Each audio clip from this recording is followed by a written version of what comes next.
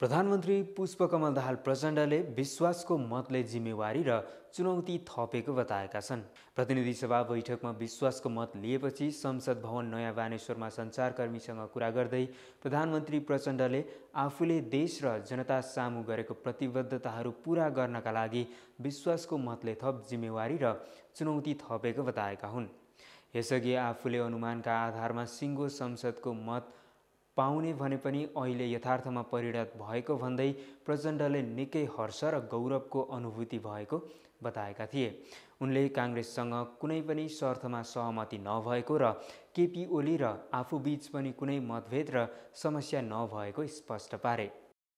जे भयो त्यसको मैले हिजो तपाईँहरूले यही ठाउँमा मलाई सोध्नु भएको थियो भोलि के हुन्छ विश्वासको मत भन्नुहुन्थ्यो मलाई सिङ्गै हाउसको समर्थन हुन्छ। भनेको थिएँ मैले। त्यो त मैले अनुमानको आधारमा भनेको थिएँ तर आज त्यो यथार्थमा परिणत भएको छ। मलाई निकै हर्ष र गर्वको अनुभूति भएको छ।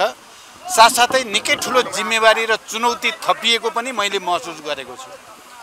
यो अपार विश्वास जो सदनबाट मलाई प्राप्त भएको छ तपाईँहरूले भने जस्तो त्यस्तो कुनै दुईवटा खुट्टा तिनवटा खुट्टा होइन यो।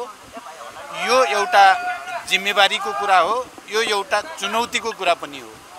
मैले जे प्रतिबद्धता व्यक्त गरेको छु ती प्रतिबद्धता पुरा गर्ने एउटा ठुलो ऊर्जा पनि यसले दिएको छ। मलाई लाग्छ आउने दिनमा हामीले प्रस्तुत गरेका प्रतिबद्धता अनुसार कामहरू अगाडि बढ्नेछन्।